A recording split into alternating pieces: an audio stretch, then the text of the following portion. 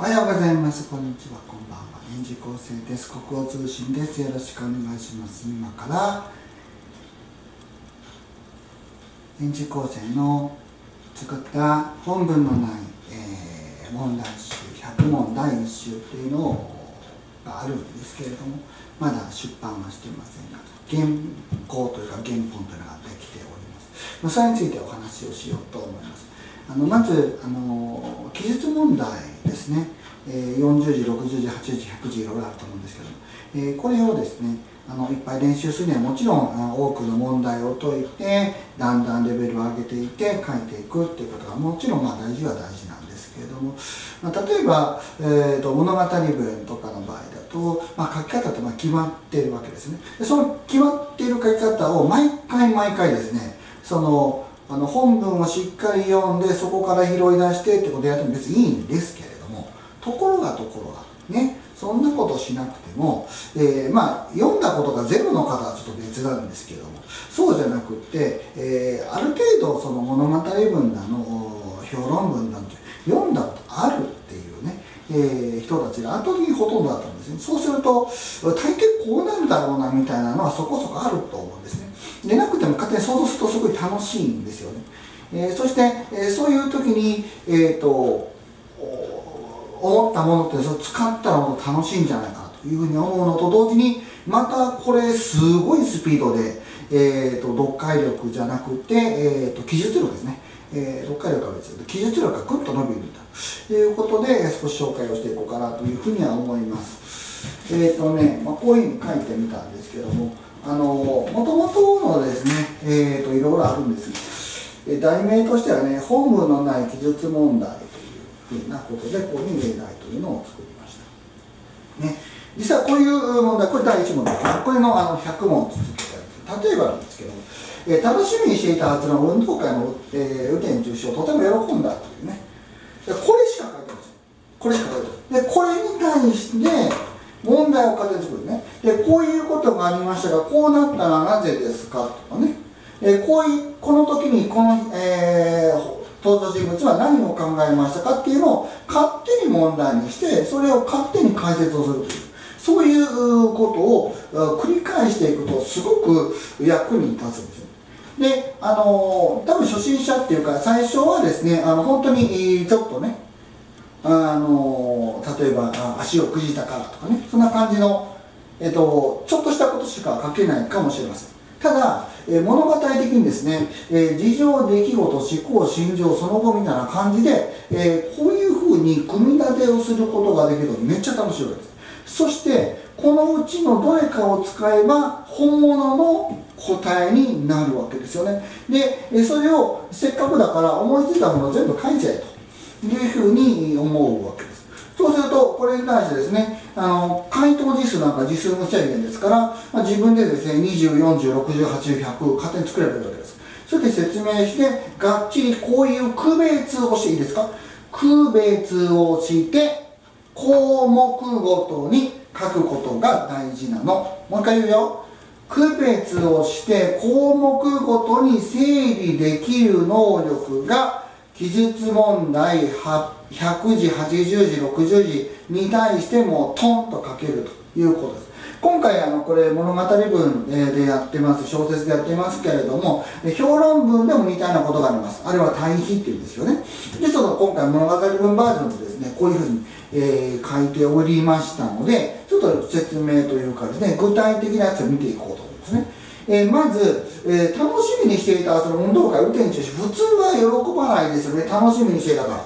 これ楽しみにしていなかったら喜んだ普通ですよ。楽しみにしていたはずなのにというねこういう、えーここですね。ここですね。逆説。こういう逆説のあのー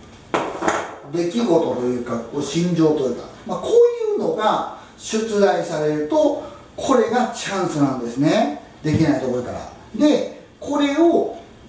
考えると楽しいわけです。普通のことを考えても楽しくないですよ。楽しみにしていたはずの、えー運動会が中止になってとても悲しいんだだったらもう普通そのままじゃないですか。だって楽しみだったのにって方多いですよね。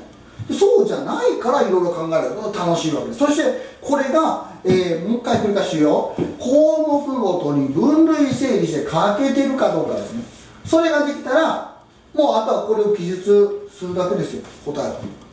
ね。言いますよ。えー、事情。プライドが高くスポーツ万能だがかっこ気が弱く内緒ってね。気が弱いことだけは内緒で、えーと、プライドがすごく高くてスポーツ万能なので、まあ、みんなからも人気があるっていうことね。でまあ気が弱いというわけで、えー、はあるんですけどもこれは内緒だっていうことですね。ここは結構大事です。で、えー、その時出来事。2番目は運動会としてなんですけども1番目ライバルの転校生がいてですね、まあ、とてもとても勝ち目がない。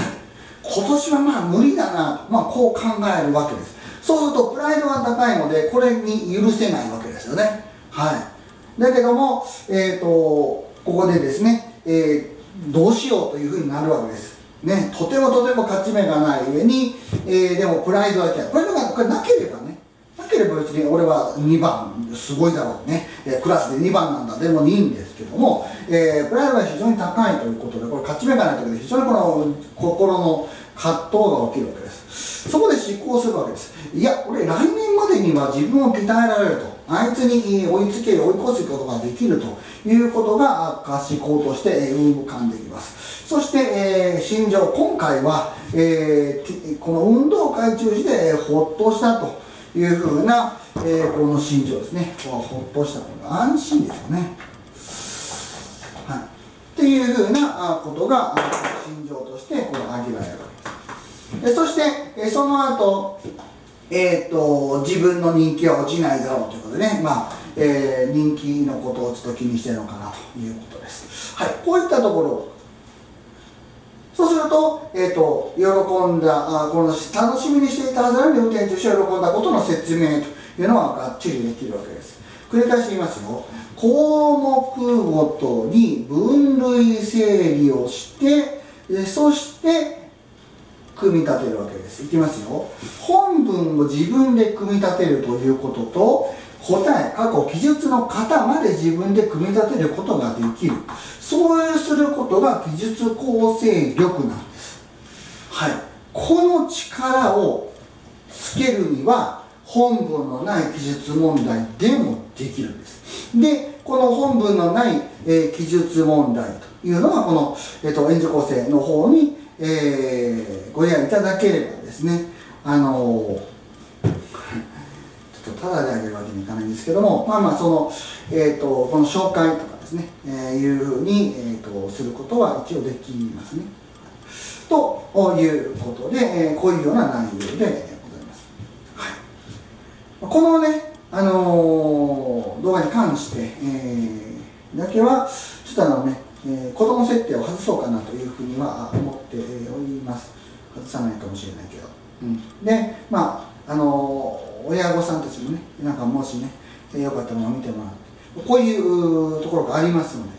で、えーと、しっかりしたらいいかなというふうには思います。まあ、あの高評価、それから、えーとですね、非常に良いコメントが揃うようであれば、まだまだね、えーと、それについて続編とかね、いろいろ考えようかなというふうには思います。でもあの演じ構成のあの授業に来れる方はですね、えー、ロシで来てもらったら、えー、いいかなというふうに思います。えー、こうやってあの克服っていうかですね楽しいですよこれやってると。うん、なんか記述力を克服するためにガチガチ頑張るんだじゃなくてこれやってると本当楽しいんでねあのそういう体験をして、えー、楽しんで、えー、国語っていうのを伸ばしていってほしいな記述力っていうのを伸ばしていってほしいなというふうには思います。今日のところは以上です。